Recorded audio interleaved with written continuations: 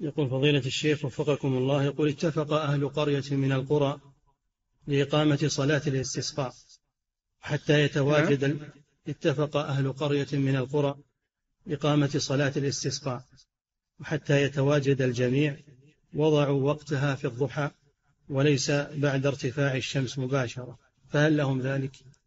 إذا احتاجوا إلى هذا لا بأس وليس لصلاة الاستسقاء وقت محدد يجوز يستغيثون أول النهار آخر النهار بالليل ما يخالف وقت الحاجة.